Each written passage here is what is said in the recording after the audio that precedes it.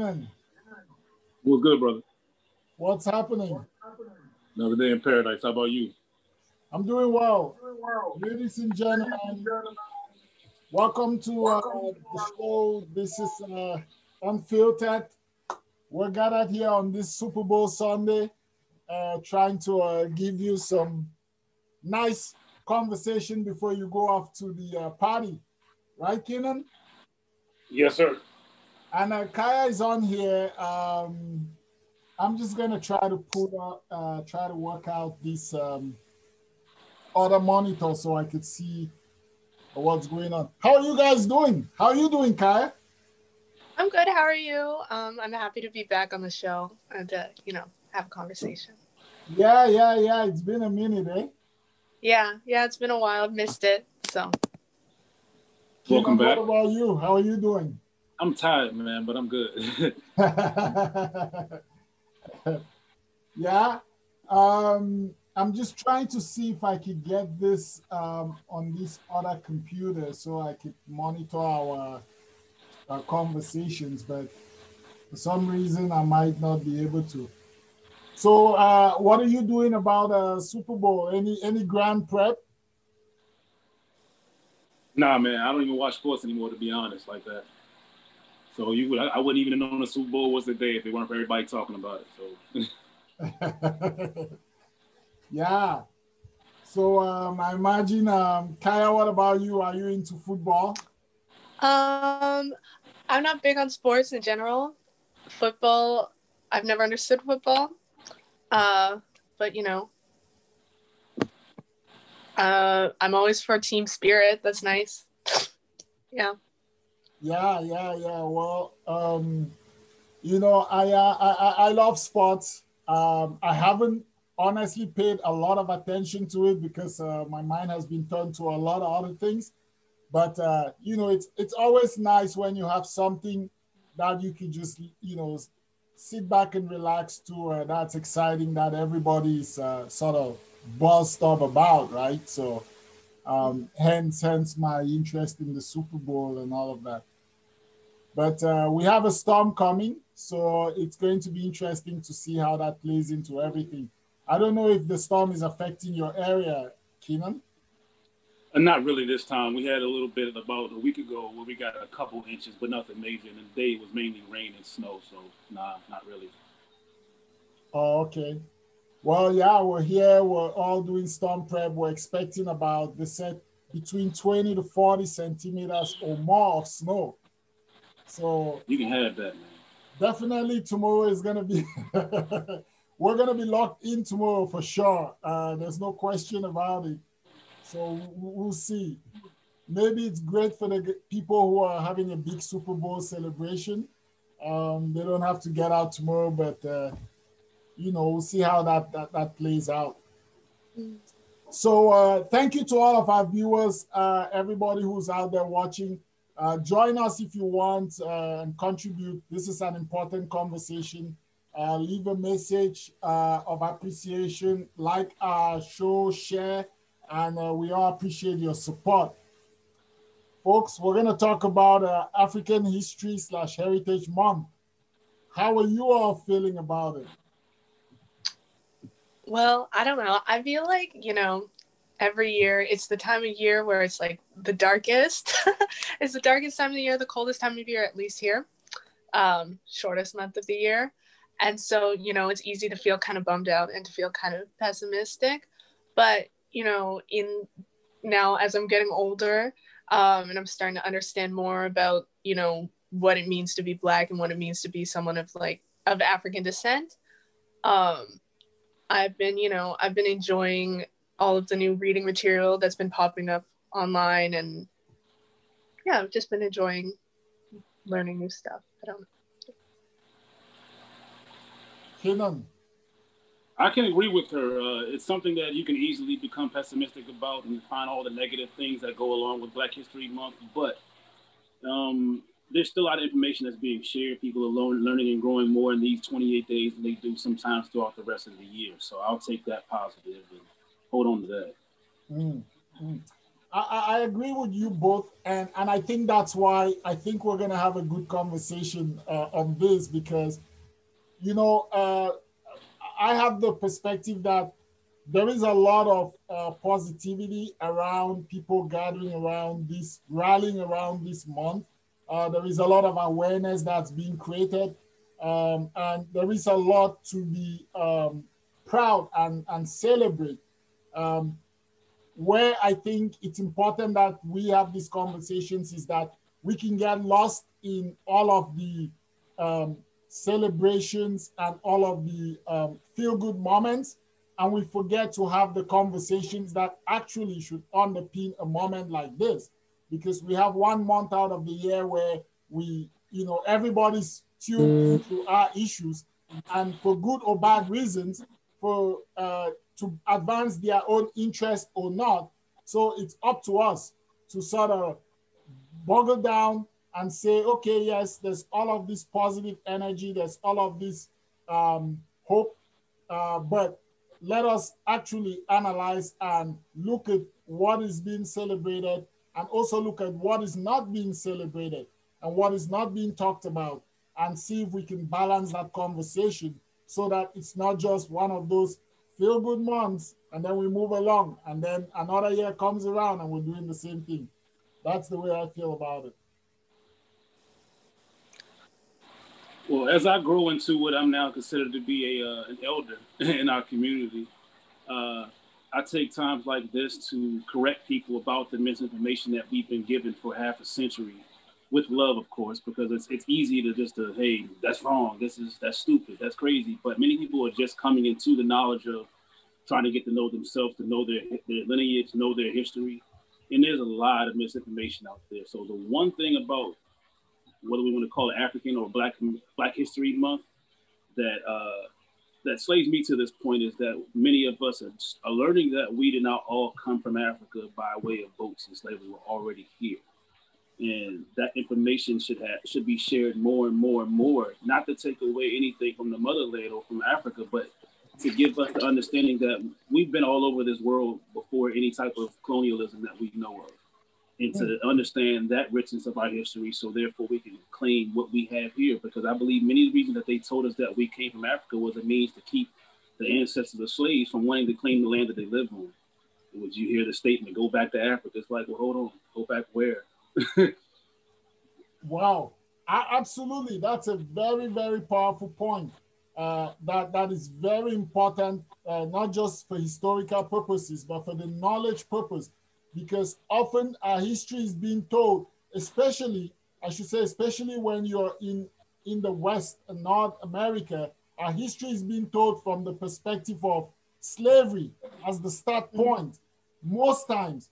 And, and the reason we do that is because, and I understand the reason we do that a lot of times is because we want to follow in line with this social justice narrative. So we want to lay down the problem and then lay down why we should uh, do what we need to do to fix the problem.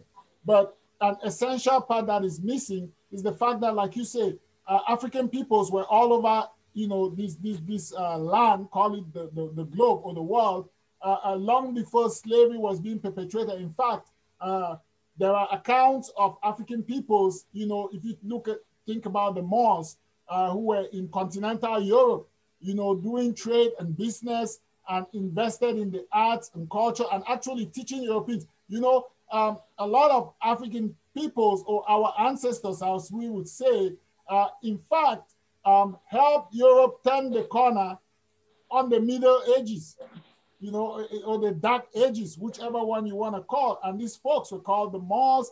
And, and there's a lot of history there that is not being talked about. We, we often, you know, kind of start from the point of subjugation, you know, where, where we were being subjugated. So I really like that point that you made. Kai, I'm interested to hear what you think. You know, for me, it's interesting. I hadn't really thought of it from that perspective of, you know, starting from where's the problem and then trying to, you know, add on to that, extrapolate other information from that that one root um, area or cause. I had always thought about it, um, at least for me, as kind of a Eurocentric lens at looking at Black history and where does Black history begin if we're t- always taught Black history begins when Europeans start colonizing the African continent, when Europeans start having major interactions involving like the trade and sale of African people, of Black people, then what we're really saying is Black history isn't important until Europeans become involved. It's not interesting until Europeans become fully involved with the continent. And it also it shifts, you know, our perspective of Black history and what it means to be Black so that it's inherently negative. There's inherently suffering, there's inherently trauma associated with being Black. And it's seen as a pivotal part of being Black, a pivotal part of being African to be involved with this suffering and trauma. And I think it's important to talk about. Um, you know, it's important to talk about systemic racism and slavery. But I think that, you know, at least for me, Black celebrating Black heritage should be about, you know, celebrating triumph over those things instead of really having this lens of trauma, Black suffering, um, and this kind of European gaze on, you know, what does it mean to be Black? I'm not sure, you know, if that's that totally ties in with what you were saying, but that's what it brought to mind for me. No, no, no. I, I totally uh, uh, agree with, with the way you've characterized it. And, and all of this, it doesn't have to have a perfect fit, but they all fit in, in certain ways. It's the continuation of our narratives. And our narratives are so many right? Uh, but but but uh, it's just how we we lay them out so that people can understand the nuances that are in our narratives. For example, what I've seen recently being um, pushed out is this um, issue, and you touch on it of let's stop focusing on black trauma. Like people, I saw people sharing movies and saying, "Hey, here are 12 movies that uh, you should watch about black um, or black identity or, or, heritage or African heritage that is not necessarily focused on trauma. And I thought that was a good thing. That was a positive thing. Um, and, and I've seen people pushing out books, you know, saying, hey, read this book or read that book that um, doesn't really dwell on, on, on, the trauma and all of those parts, uh, which is great, you know. Um, I think we need to find a way to, to be balanced and to do it in a holistic way because one of the things, again, you, you hit the nail right on the head. Too often, we let our narratives be dictated to us through this Eurocentric lens. So now, again, talking about this focus on not focusing on Black trauma, a lot of the people pushing these narratives are not uh, people of African descent in any ways, of course, it may have been started by somebody of African descent, but the majority mm. of people who are pushing it. So again, it's that every time we try to tell our stories, um, somehow the powerful interest, the the um, the people who are more engaged uh, in, in, in promoting these uh, through which, or these platforms through which we tell our stories, often have a way, whether they know it or not, whether they're doing it deliberately or not, kind of co-opt the narrative. And then sooner or later, it's just, you know, it's just something that's going viral. But is that really the intent of why we wanted to do that? So, mm. so that's sort of the balance that I think we need to start applying ourselves to so that, you know, we're looking at it from a holistic point. What are your thoughts?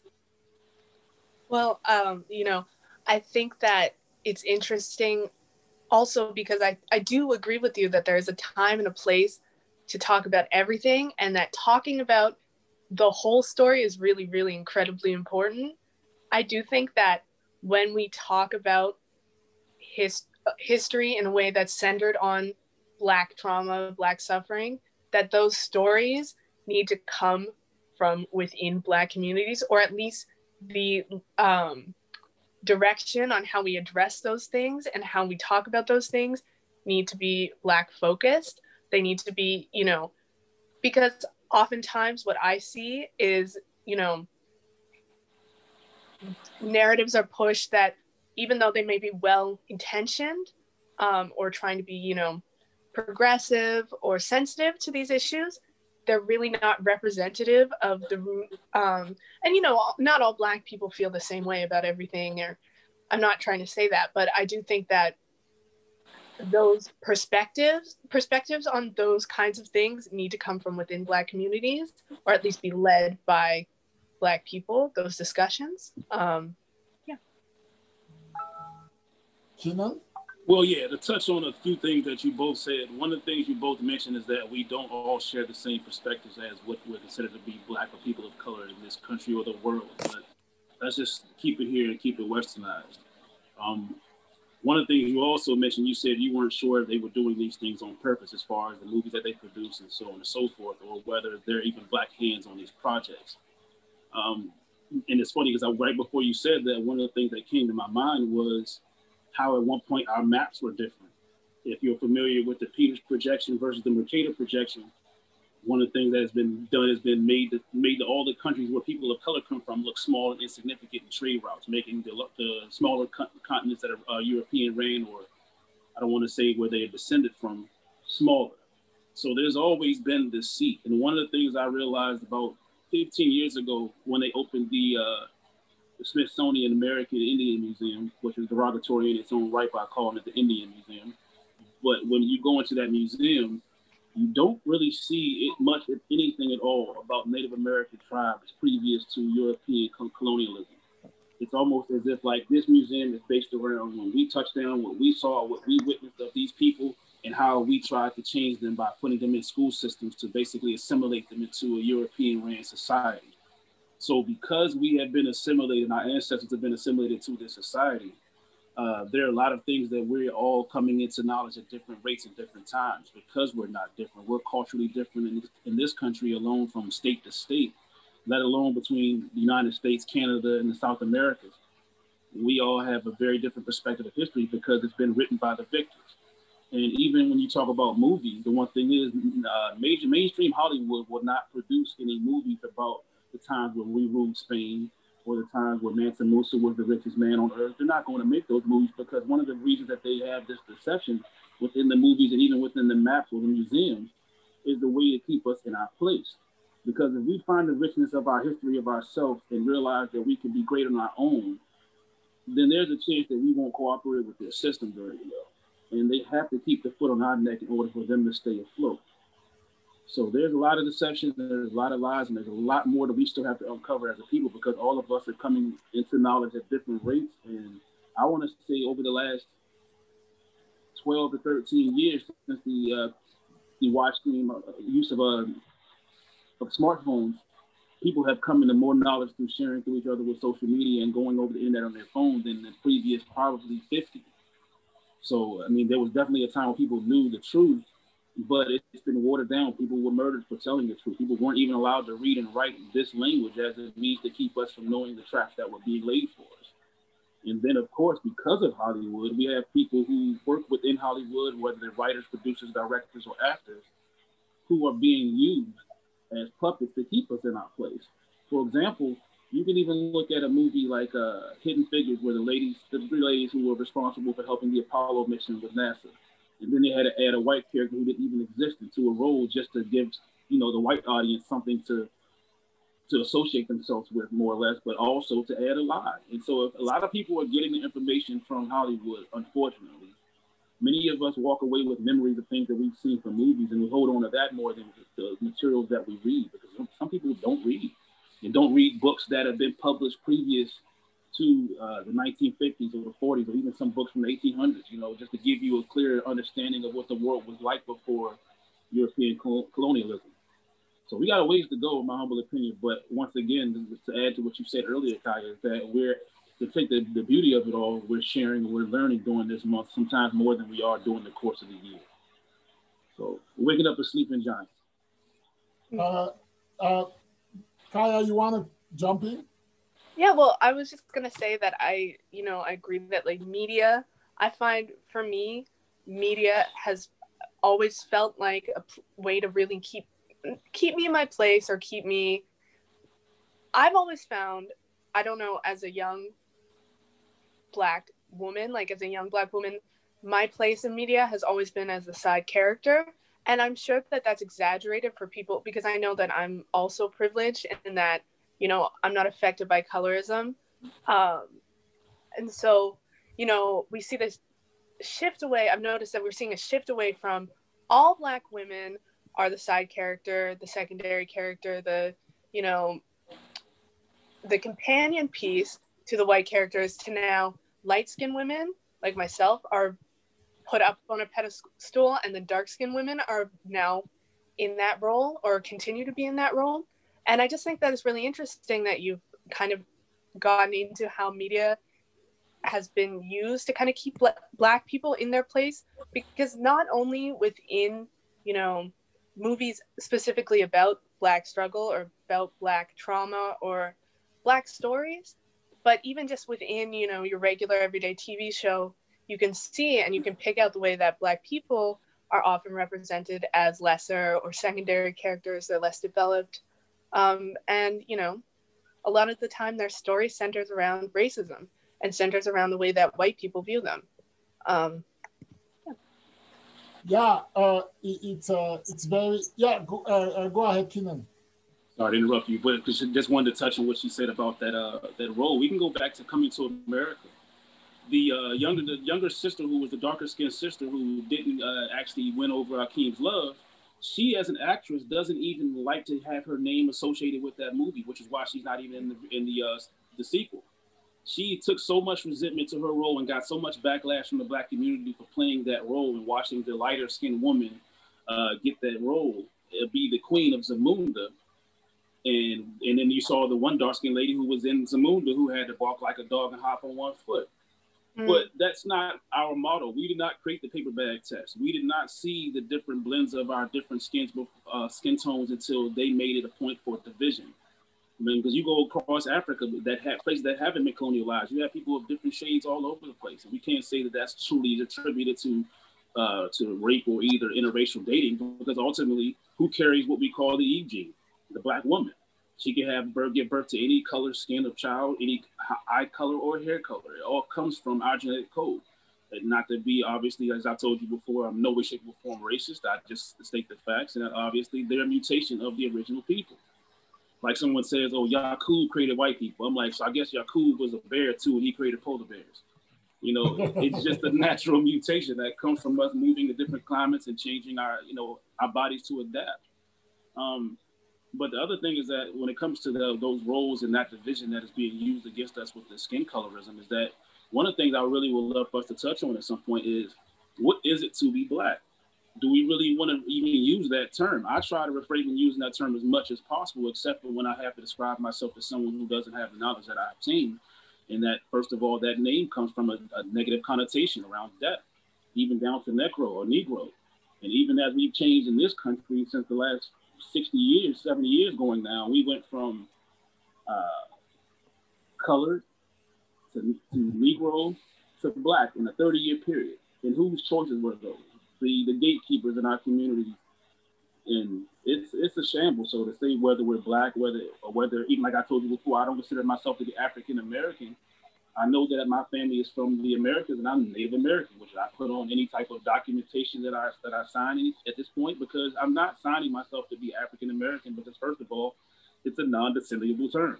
You claim no descendants when you call yourself African American legally, and that, we got.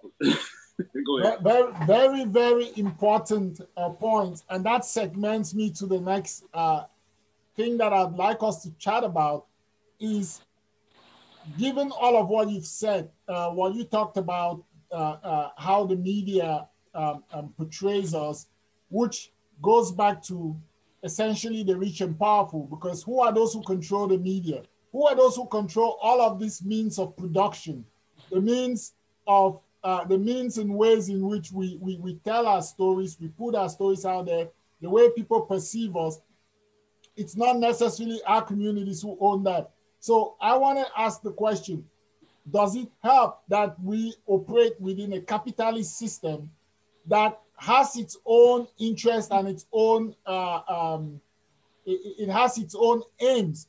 And so trying to fit in, you know, this, um, our history uh, with the retelling of our history in the ways that we want within a system that was set up to, um, you know, to, to, to make us less human and, and to marginalize and subjugate us. How does that work? I'll just I'll just give you a little uh, uh, setup here. I, I was reading a book called Winners Take All, and this book was written by a New York Times, a New York Times bestseller. And in a sense, what this person was saying in this book is that, you know, the uh, the the rich and powerful, um, the rich and powerful in this day and age have now become uh, are rebranding themselves to become champions for social justice and equality in every way and in any way except the ways that threaten the status quo in, except in ways that threaten their, their power and their wealth, right? So they, they, they can appear to be champions of the poor, except in the ways that threaten them. And, and, and that fits right into this narrative of African History Month, African Heritage Month. Look at the way the corporate society embraces this. It's now a month where, you know, you have banks are gonna put up panels to talk about whatever they talk about they're going to put money into whatever to create that uh, promotion and ensure that they seem to be living up to corporate responsibility. But again, these same institutions, whether financial, um, you, you know, pick any one of them, the big corporate institution. If you actually want to look at what it is that they really do in communities of African descent, uh, of Black communities, to actually elevate people above the poverty line, to elevate people to work on an equal stool as the rest of society, it's very minuscule compared to the but compared to the you know the amount of profits and all of the things they make. So are we just victims again of the rich and powerful uh, trying to you know use use us again in new ways uh, to to you know to advance their interest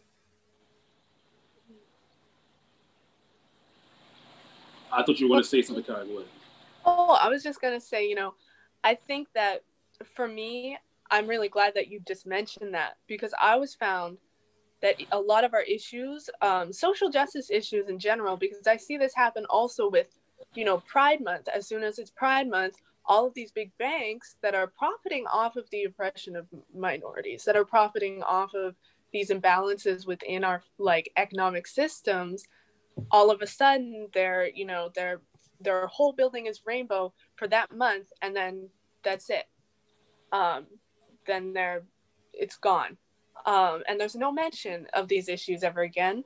Um, and i think fundamentally a lot of our issues of race and a lot of the things that we perceive as race issues are socioeconomic issues.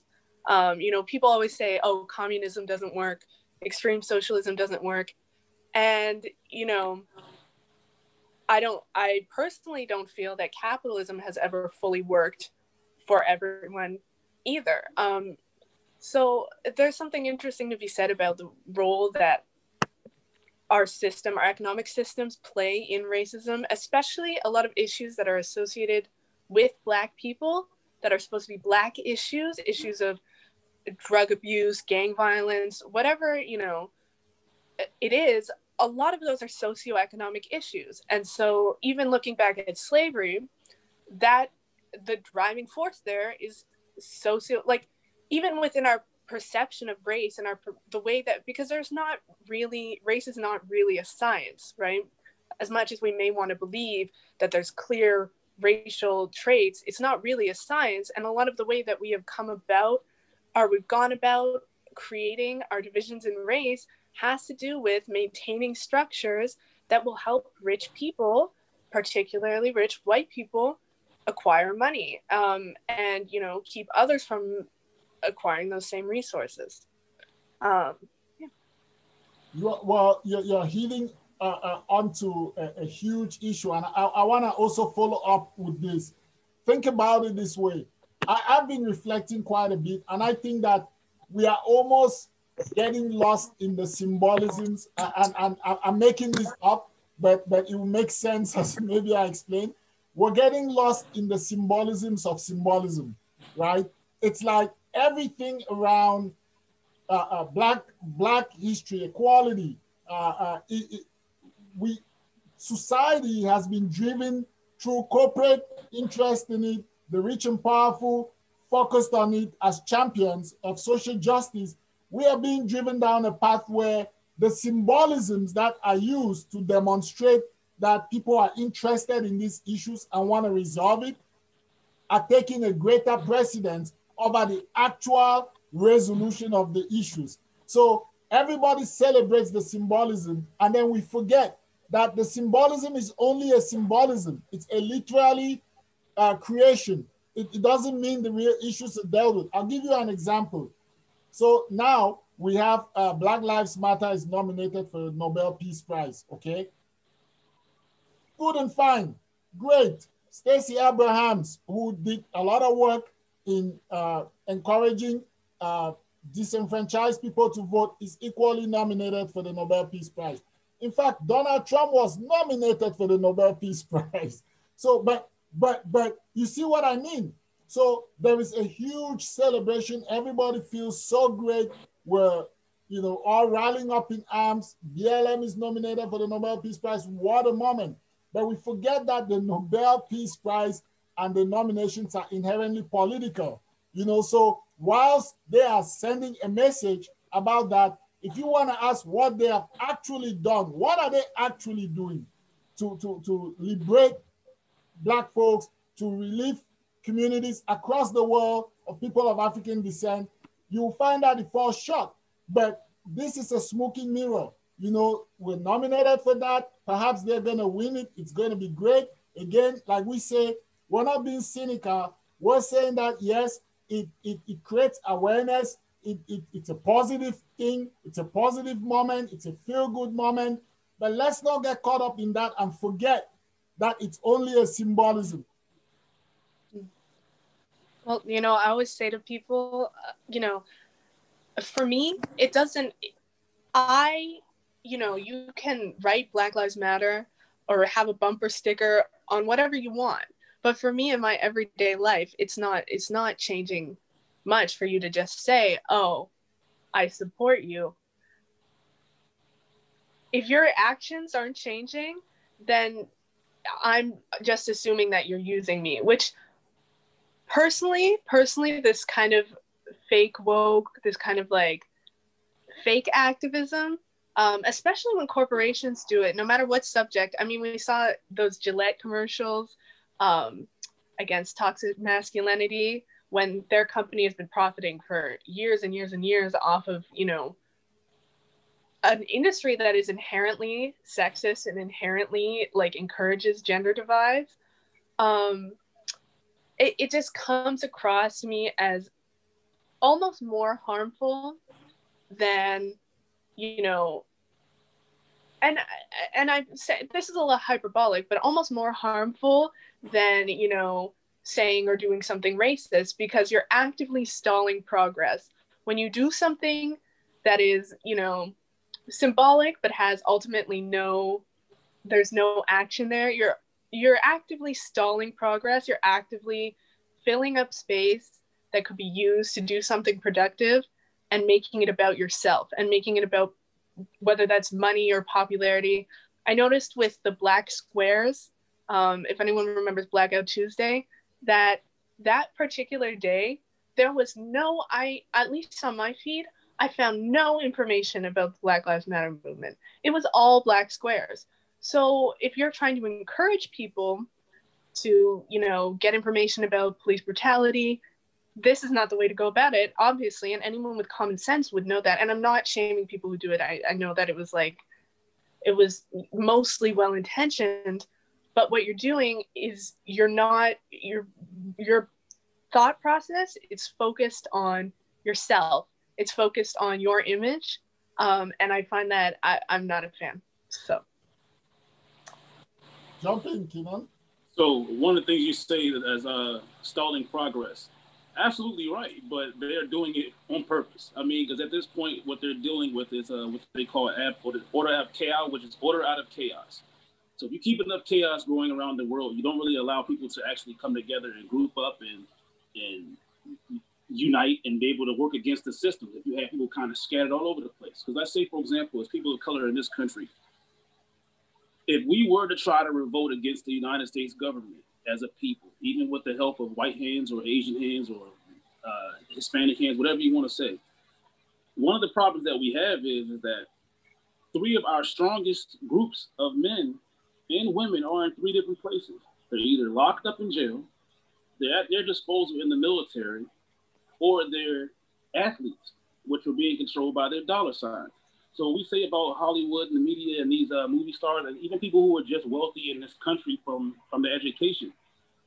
You have people who are complacent in their wealth and in their gains that will never look down and help somebody who's below them, especially if they're directed not to. Because one of the things that's stronger than racism in this country is stay in your placeism. So that that goes for white folks as well. One of the biggest tricks is that they what you saw of the rising of the Proud Boys is that you had a group of white men and women who realized we were told that this was our country. We were told that white was right. We were told that all these things that we benefited from because of our skin tone was going to advance us. But now we're watching black governors, we're watching black mayors, we're watching people in the White House. So you're lying to us. This is not made for us the way that we thought it was for and they're rising up. The same thing can very well happen with people of color, but when you have us in so many different compartments, it makes it hard for us to realize who's on the right side of things. Because as a person who used to avidly protest in the streets of DC, when I first heard of the Black Lives Matter movement, okay, at first it sounded great until I started, you know, looking at the, uh, the semantics behind the words and, and even the slogans that they use on their website. When it says that they want to disrupt the platonic family and in the uh, male patriarchy, I don't see the benefit in that. I don't see the understanding of why that should even be pushed to the forefront when it says Black Lives Matter. Because ultimately, if you're saying that people of color's lives matter, then it should be it should address the many different goals that every different person of color wants to see as far as they're considered freedom. But how do you get that? I don't you want to say something. Well, I was just wondering if you could clarify that point on the patriarchy because I know, I mean, I don't know, I'm not, you know, I've never really fully understood the language around the patriarchy. I'm not really fully like informed on that, you know, whole side of things. I do know that like I found my experience as, you know, a like as a female presenting black person to be different from people who present more with more masculine traits. And so I can see why that would be something that people would consider important to address when you're talking within black communities. Something that i've been trying to move away from is viewing identifying myself with someone or with a group of people just because they're black identifying with yeah. and deciding that i have you know that as a group we're all the same. I've started to recognize more there's intersectionality within black communities. And i think that's also part of like a white narrative is deciding that all black people have the same challenges. So i was just curious if you could clarify that because i didn't i didn't quite understand it. Well um personally when it comes to the patriarchy um obviously i don't i didn't create mankind. And as hmm. we look at different species there are patriarchies and matriarchies in different species. It just so happens that for human beings that we're man we're a male strong and ran society throughout history Yes, there have been women leaders, there have been women warriors, but overall, if you had to take an army, they're going to be majority men. And to say that when you want to end the male patriarchy, I understand if you want to end the patriarchy of black men or women, sorry, black men or white men who maneuver in a in this uh, westernized society, yeah, that's toxic. It's dangerous because a lot of the times the things that we've been taught here in this society are harmful to ourselves. You know, you saw back in the 50s and 60s where white men were just slapping their wives around on TV and movies like it was nothing. And then you could also say that that may have been a time where that was in our community, but it really only happened after the um, around the time of like women's rights and live movement because of the fact that there were a bunch of black women who decided that they wanted to go and work within the confines of what white women were trying to find their freedom for without realizing that we didn't have that problem in our community. And as we merged into their community, so did some of our problems. As they flooded our streets with drugs and gave us alcohol on every corner, our domestic rates went up. But these were not things that were in our community. And then you saw black women realize they were being used to be in the numbers game for the white women's live movement at the time. But because you wanted the people, not you, but women wanted to group themselves with other women, it was dangerous and it divided our own communities. And the last part I'll say to, add, to make some clarification is that I definitely agree with you. We do not all share the same culture and belief system. Therefore, we should not all be grouped in. In, and I think it's impossible because if you take somebody from the from Florida, from New York, from California, from Nova Scotia, from Newfoundland, we're all different.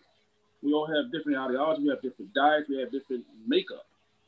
Uh, but for a group that encompass the whole movement under the banner of Black Lives Matter to make those their two strongest points on their website is in the male patriarchy and in the plutonic family sounds like another like ulterior motive. Instead of saying we're doing this for black unity, doesn't sound like that's black unity because last time I checked, most people I know subscribe to the fact that a strong union would be either a male and a female and their children in, in, order for us to survive. Not to say that homosexuals don't have a place in, in the movement or in society, but ultimately we wouldn't thrive if we were majority homosexuals or if we ended the platonic family. Our numbers in this country would go smaller. But I wonder if that's a Eurocentric way of looking at family and a Eurocentric way of looking at gender, because you know, in doing research around gender and sexuality and around men and women's roles, and I'm not saying this is across the board, but pre a lot of pre-colonial societies, specifically people of color. Um, well, obviously it's pre-colonial, but um, their views on gender, sexuality, the way that we structure families. I mean, looking at a lot of indigenous um, family structures and how you know community, the way that communities raise people. It's very different from uh, the European standard and the standard that we've kind of set around the world and then you see you know colonialism comes in play and now all of a sudden different expectations surrounding gender and sexuality are seen as savage are seen as primitive and it's used as a justification to inflict terror on people of color. And so i wonder if you know we're i i always just wonder if we're we're straying further and further and further away from when we talk about Black people, further and further and further away from the way that Black people have been living because we're we're deciding that what's ideal for Black people or for people of color is these systems that are inherently European or you know have ties to um, colonialism. So. Uh, I'll just jump in real quick to to to to to, to bolster what you're saying in, in a in a in another perspective is this that tra- if, if you look at our traditional societies, like we were saying, even back to the time when we black folks, African descent folks, traveled across the world, so many inventions, lifted Europe, turned the corner in Europe, helped Europe turn the corner from the Middle Ages we had universities uh, at the time when you know Europe didn't have. Uh, uh, you have the empires of Mali, Songhai, all of those things that have now been rewritten, not necessarily by us, but those stories have been rewritten from a Eurocentric perspective to, to put this glory, but a distant glory in the past, right? of how society was structured and functioned in Africa. Talk about the role of women but more importantly, to go to your point, Kaya, is this idea that now we have the capitalist system and the incentives that motivate the capitalist system run by the rich and powerful, majority of them white and Caucasian, who now incentivize thought leaders within our communities to write a certain, they reward thought leaders who write from a certain perspective although it might be a social justice uh, perspective or lens, but the bottom line of that perspective is if it protects the status quo in the sense that it advances social justice but does no harm to the wealth and power of the rich and powerful, then they reward these thought leaders. And then we take these thought leaders and we look at them as the models.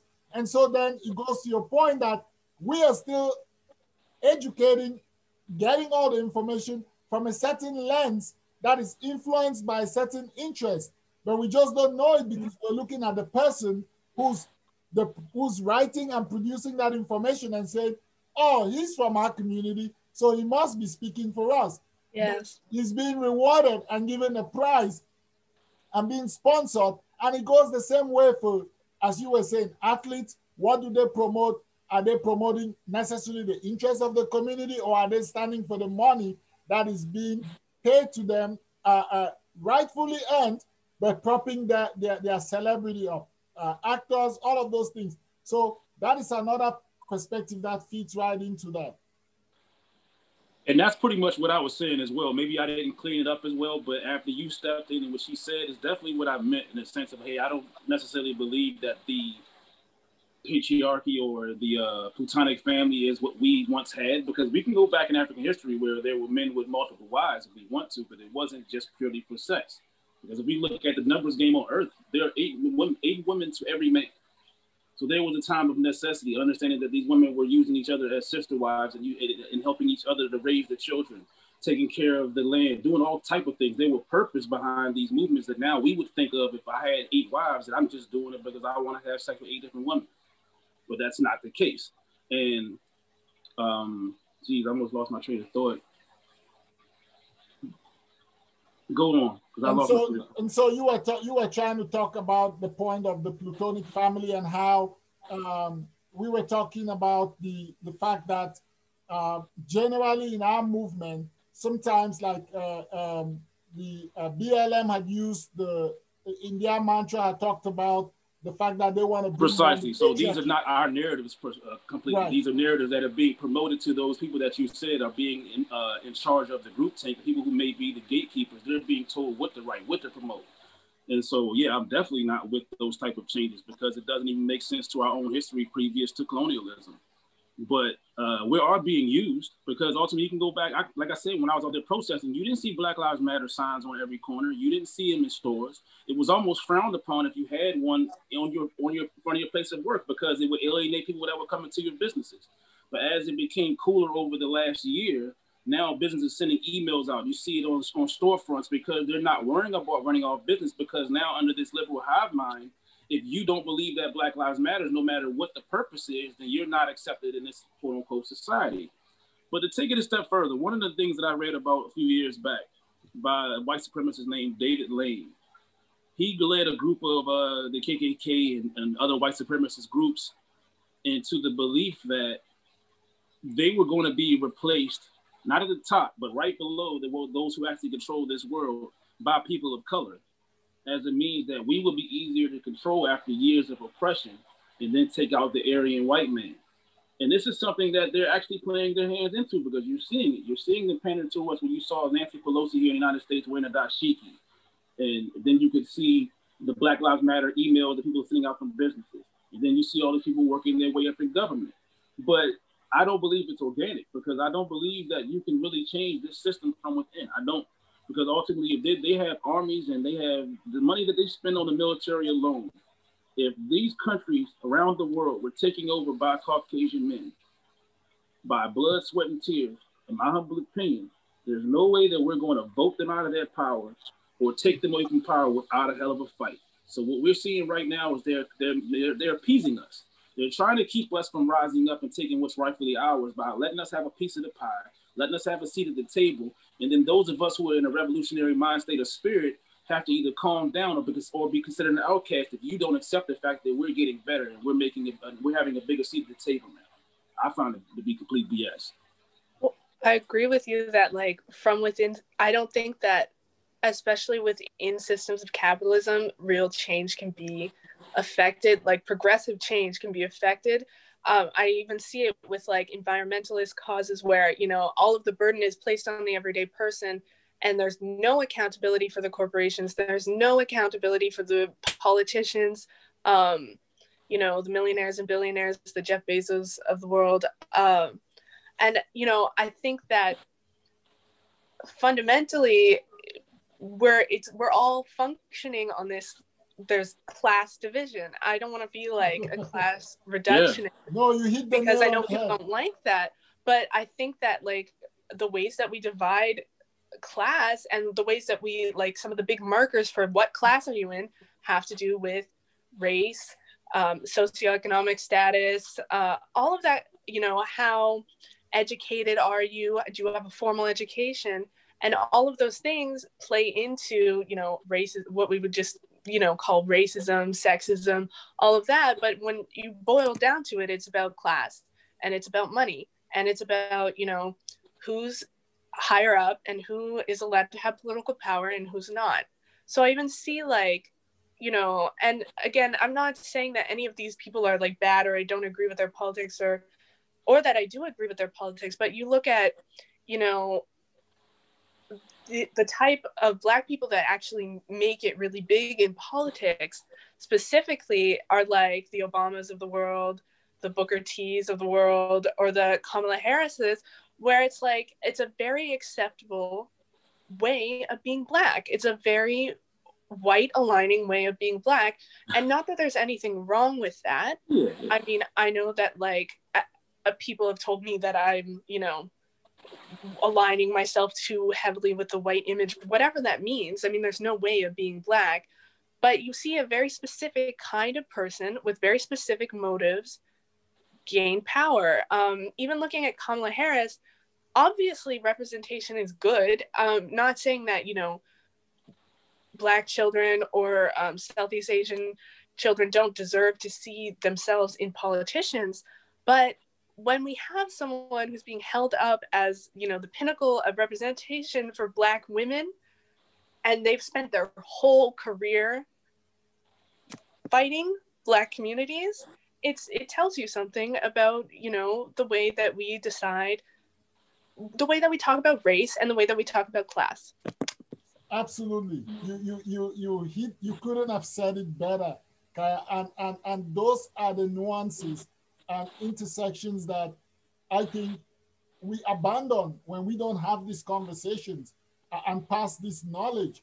Because then a lot of people and and and a lot of people tend to look at this rosy image of oh we're celebrating um, African Heritage Month. And we celebrate those those those people. You know we put up the pictures of of the Rosa Parks the Martin Luther Kings the Viola Desmonds you know, all of these these these people who, for, for, for good reason, uh, created milestones, historical moments that changed certain narratives. But the, the fact remains that are we going to continue to dwell in those narratives, which ever since those narratives, things haven't changed so much more. Uh, we still have the same thing. So, for example, I asked the question why is it that we would celebrate Martin Luther King a lot more than we would celebrate Ma Malcolm X? Why is mm -hmm. it that, you know, so, so there's all, if you go into the black communities, you see there are all these different parities of revolutionaries, you know, in different ways, which goes to your point. But because of the way the Eurocentric society or, or, or view of, of our communities, what they celebrate more and put money, because it all boils down to money put money towards propping that image, we tend to, to, to fall, to gravitate towards that. And then the ones that don't have that money and power behind to back, though they may have spoken up for truths, we tend to let those falter. And so then what story are we telling? What narratives are we telling? Well, then also those narratives and imagery and it's it doesn't align with who the person was. So we create, for example, Rosa Parks we draw parodies or not parodies we draw similarities between rosa parks and viola desmond when really like each of those two stories are incredibly unique. So we have rosa parks and there's this narrative that oh she was on the bus one day and she didn't get up from her seat. No that was actually very well thought out. It was planned. It was part of a bigger mm. movement that was going on at the time. But there's this we create narratives and imagery around people that supports whatever is comfortable, whatever is, you know, we don't want to talk about how much planning and how much work went into the civil rights movements of the 60s. We don't want to talk about how Martin Luther King Jr. experienced harassment at you know the hands of the FBI. We don't want to talk about that kind of stuff. We want to look at tweets from the FBI celebrating Martin Luther King Jr. Day. We want to look at what is comfortable and what is appealing, and we're not telling the whole story. But the question is, who is it comfortable for? Because when it comes down to this money that we keep talking about, we all need it, or at least some type of way of currency to exchange for our energy and time put in so we can pay for our bills and things that we want and need in this world. However, when it comes down to uh, what you mentioned earlier, as far as like the assimilation that we see in movies or even with our political activists or political leaders, it's all assimilation because you're right, like you said as well, we're allowed to have different tones, different ways of talk, vernaculars, we're allowed to have phenotypes and be different. And I'm sure all three of us at, at some point in our life have been questioned about how black we are, by either the, the things that we say, the music we listen to, the way that we dress, or whatever it may be, and then forget that we still are going to go through that experience with somebody who's inherently racist just the same. Um, but when it comes to that power, and that's what money really is, we can go back, like again, I mentioned we talk about TV shows. Everyone loved the Cosby Show, right? Up until Cosby's allegations.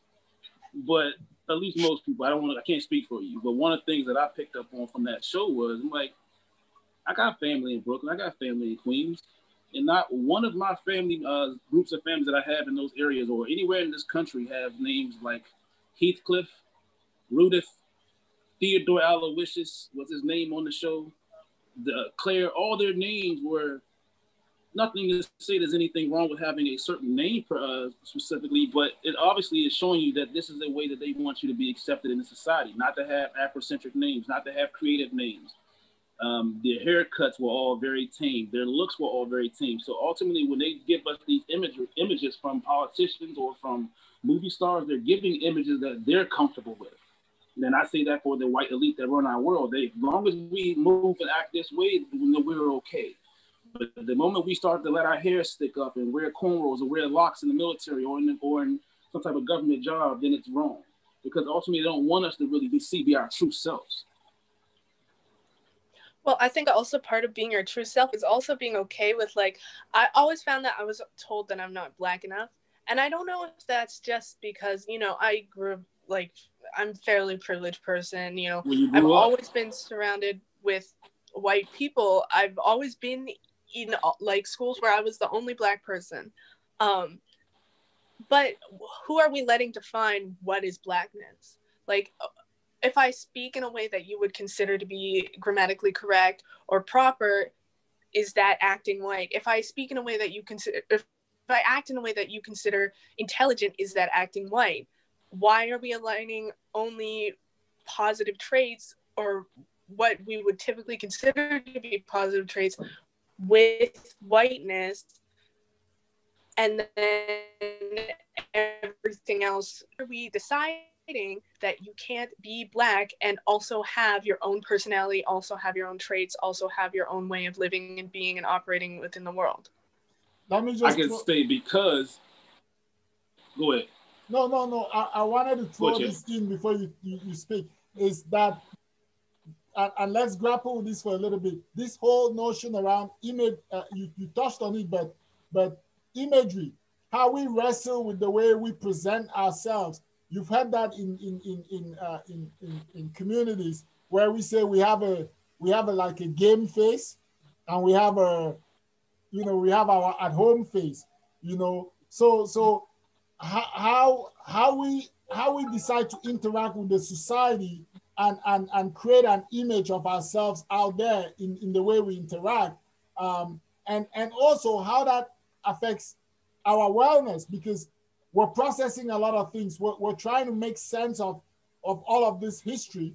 We're trying to make sense of our reality but we're also trying to make sense of how we navigate and move forward and so we're, we're, we're constantly under this um, stress of trying to manage different components of our existence.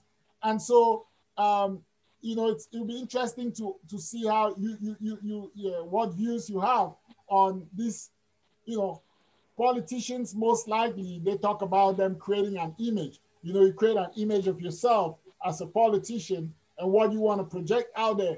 But for us, uh, uh, as, as people of African descent, as Black people, I feel like every time it, it almost feels like you are also managing some, whether it's created by you or some imaginary image of what people project of what they think you are.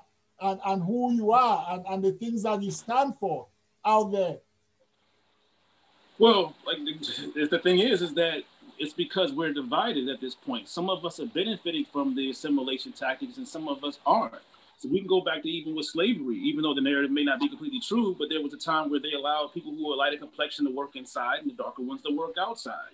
So then you create resentment issues between that same community who come from the same tree. So if you have years and years of that slave mentality, house mentality working throughout society by those people who may be uh, come from privileged families, who may be lighter in their skin tone, uh, or grew up in a certain area demographically that benefit from the white society. And then there's a large amount of us who don't benefit from it. Therefore, they're mad at this one, and we're fighting amongst each other. But like you said uh, about going to a predominantly white school, I started off in DC as a child, and uh, my mom was in the medical field, so I, I, grew up privileged, even if I grew up in a rather uh, criminally uh, drug overflow city when I was young. And there was only black students in my school. I went to a Catholic school then I moved to Fredericksburg with my father as the crime got too bad when I was 10. And I moved to an area that was predominantly white. I got called the N-word for the first time and I laughed because I thought it was more or less like, oh, this is this is cute. This actually happens. But it also changed my vernacular, the way that I talk, the way that I move. So when I moved back to DC at 21, all of a sudden I wasn't black enough anymore because I talk in a different tone. I use different words. I uh, listen to different music or have piercings. You know what I'm saying? So it was just like now it's normal. But it's uh it's all done as a means of chaos, order through chaos. Because once again, if we all united and realized that we were all struggling under the same oppression and the same banner, then we would do more about it. But we've seen those times, like we like I told you before, we had Black Wall Street, we had our own bank, we had our own hospitals and schools, and they blew it up. Literally flew airplanes over and blew it up and so and burned it from the ground as well. With that being said, they don't want us to progress. To go back to what you were saying about stalling progress, they just want us to be comfortable enough to spend the money that we spend in this country on sports, entertainment, clothing, and, and whatever we may spend our money on, but never ever catch up to them. Wow, uh, it's. Uh, I don't. I've always found uh, uh, uh, uh, jump in there, I was just gonna say it's a really great uh, conversation oh, we're having, and just to uh, let our viewers know that uh, we are looking at a critical lens of you know African Heritage History Month, uh, the Black experience, and you know we're we're doing a candid reflection of what that means for us in a in an inherently capitalist world. And, and so we're trying to navigate all these different things that are thrown our way. So when we talk about our experiences, there's no clear, there's no clear lens that you can look at it from because there is capitalism that has its own role in it. There is, you know, the money empowers interest. There are our own unique uh, uh, tendencies that we have based on the experiences that we have that plays into it and so it's really fascinating that uh, we're sitting here and having this conversation. Kaya, going. Well, I, I, was just gonna say that you know I've always found that like the times where it's been easiest for me to understand my blackness or to understand that myself is when I've kind of walked away or stepped away from trying to be understood as black and trying to be like I'm black, I'm black, I'm black, and trying to prove to other people that I'm black. Um, and i found that for me like the most liberating way to celebrate my black heritage or whatever my african ancestry whatever you want to say is to just enjoy life and to enjoy creating things and enjoy like navigating my own personal relationships and like experience that like black joy or you know whatever you want to call it without feeling that pressure to like label myself because then you're you are you're putting yourself back you're you are purposefully and intentionally putting yourself back into a system that's not benefiting you. You're intentionally and it's not your fault obviously. Like i think that we're always kind of told because part of the the painful thing about like soul searching or trying to understand your own identity around race is that sometimes doing too much of that can be really not a good thing and so finding that balance of understanding your race understanding your racial identity how you want to identify and then also not boxing yourself into that can be really um, interesting it can be interesting Mm. I agree with you a thousand percent. As a, as like I said, as the years that I went out there protesting and getting into uh, social justice uh, stuff on the internet. I mean, I, and I didn't want to be one of those people who would just type on my phone. I'm like, I want to be involved. I want to go to groups. I want to do things in my communities, mentor people, you name it. I, I just overexhausted myself doing that, all by means of me getting this spark of information about my past or my people that I may not have been raised upon. So it can be, it can, a fire can be lit upon us. But you're right, though. We have to be able to keep that fire from burning either the, the good parts of our existence away or boxing ourselves into this corner. Because now, once you put yourself in groups, when you join protest movements or deal with other groups, now if you don't move and act like them, then you can become an outcast. And that makes you want to stay in that box or comfort zone. You may either have uh, hundreds of people that you know have your back in the time of need, and now all of a sudden, if I change my narrative, I now have on Instagram. I lost thousands of followers the moment I stopped posting things about blackity black this every day. And the moment I started getting more into my the spirituality of, of self and of this world, then all of a sudden I lost a lot of that following those people. And I think that's what people have a problem is that they want to belong to a group without realizing that you shouldn't lose your individuality in the process. Mm. Well, we come to expect that too people of color. Like I think in general, we expect that like their role in society is to to always educate it's always to educate it's always to be a resource to white people it's always or you know anyone in the lgbt uh, community it's always their job to educate straight cis people. Like it's always the minority's job to educate um, and just allowing people of color, allowing minority groups to have their own identities and to form their own interests and to like experience and enjoy life is really really important. For some people i think that does mean like getting involved and going out and protesting and writing articles and stuff like that. I don't think that inherently makes you you know anti-black or makes you you know naive or anything like that. But i think it's you know when it comes down to it it should be your choice.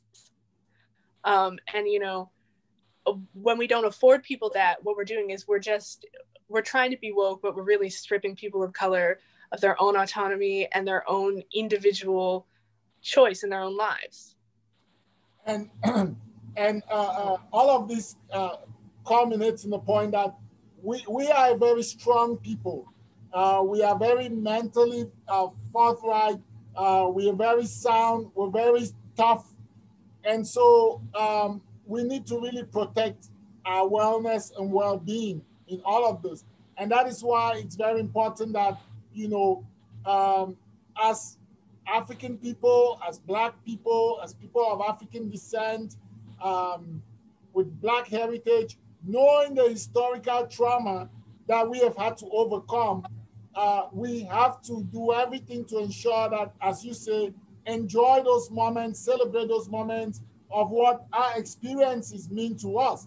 Uh, that those those black moments, rather than trying to always fit into what society projects on us, because society is never going to stop projecting what it expects from us on us, whether they want us to be the equalizers or to be the balancers or to be the um, the resource that educates about our experience. All of those things are going to always be projected on us. And society is going to use whatever tools they have in their toolbox. The rich and powerful are going to use their rich, their, their wealth and power to co-opt our experiences to advance their interests. Uh, those who don't have money are going to co-opt our um, our willingness and ability to want to tell our stories and to want to inform others so that they know how to interact with us for their own interests. So it is up to us to ensure that we keep being authentic in the way that our experiences are viewed. That, that, that's uh, the way I see uh, going forward. Well, one of the things I feel that we have to be uh, cautious of is that we've been led into this Messiah complex, where we believe that there has to be someone or something to like save us from from the day, without realizing that even Martin Luther King, near the end of his life, regretted a lot of things that he was paid to do. Basically, you know, when he came to the realization and said, that "I fear I've integrated my people into a burning house," they don't talk about that Martin Luther King. But what's also not stated is that we keep on looking for celebrities and and looking for uh, social justice uh, figures to be leaders, we forget that it wasn't Martin Luther King who made everything happen or Malcolm X who did everything. It was the hundreds and thousands of people who believed in something that one day wanted to change. You know, we actually look at ourselves instead of looking at some greater person to be able to lead the way and show us the way. Then we realize it's, it's just the individual. It's us. It's all of us. But too many times we've been we have to believe that oh Jay Z is going to supposed to pay all these people, or that uh, some athlete's supposed to build the complex and feed the poor, without realizing that maybe we should just give up less of what we have, or either really fight the terror in the system together. But because we have so many different people stretching our minds and projecting who we're supposed to be, it's hard for us to get to that united front because ultimately everyone's out here saying, I want to be like Kamala, I want to be like Obama, I want to be like Jay Z, or I want to be like Kendrick Lamar. You know what I'm saying? And it's like they're all still paid for opposition. Because as we say the imagery means a lot and representation matters, let's go and look at Martin Luther King's uh, museum in Atlanta, Georgia. It's not Martin Luther King statue out front, it's Gandhi. and that's because Martin Luther King spent too much time with the Messiah complex looking up and idolizing Gandhi without realizing that Gandhi was a damn racist himself. But we don't get that. We get revisionist history. We get what we're told. Oh, Gandhi was a great man, but Gandhi would have called all of us a kafir which would be the same thing as being called the N-word here in the States. Absolutely. So, um, well, um, my friends, we're gonna have to leave it there. I mean, we've uh, we've been going on, um, you know, uh, an hour and almost 30 minutes here. Great conversation, and I think we should continue it. Um, we shouldn't just have these conversations, you know, during this time, although that usually is the tendency because you know, we're always focused on so many other things that our minds also get turned around um, to focus on these issues around this time. But I think, um, you know, we have a great platform uh, here. We're all a part of it, and we should uh, try to continue to have these conversations and um, and continue to just, you know, uh, be authentic in the way that we educate people about our experiences. Um, I think it's a good thing. So thank you all for coming and uh, for sharing your thoughts so candidly. And uh, I know next weekend we have um, uh, we have uh, Tongwa. Um, she's going to be here. She's an author. She's written a book on on wrapping gifts. Uh, she's going to be a guest, but it would be great to have you, Kaya, on and, and Kenon, and uh, so that we can talk some more. And um, I was going to ask you, Kaya, what does that, uh, the painting behind you, I know you're an artist, a visual artist too. Uh, did you do that painting? No, I didn't. It's a CrimethInc poster. I actually don't know much about the organization, but um, I actually got it at Radstorm. I think I talked about Radstorm on one episode. Um. And it's actually, I think it, it's on uh, on topic. It's it's a long paragraph, but it's uh, basically the first line is it's convenient for those whose obedience is rewarded with status to moralize about playing by the rules. So it's it's talking about, you know, trust and in whose hands power power really lays. So yeah. Nice. It, it reminded me of uh, the, the book by Frantz Fanon that uh, I think it's uh, is it Black Skin, White Mask? Uh, but but it just reminded me of it because it's it's a it's almost like a black black mask uh, on the white skin. But anyways, yeah. that's an aside. Thank you all. Uh, I don't know if you have something final to say. Um, well, I just thank you for having me, and it was really nice discussing with you guys. It's really interesting. I have a lot of stuff to look up now. So. all right. All right, we'll leave it there and uh, have a great Sunday, you both. And uh, hopefully uh, you jump in next week, next weekend for some more. It's still it's still the month, so we're gonna be talking about these issues until the end of it and beyond, maybe. Awesome. Thank All you. Right. Have a good evening. Thanks, Chebs. Enjoyed the conversation with you as well, Kaya. Chebs, y'all have a great day. Enjoy the rest of your week. Okay. Have a good week. Have a good week.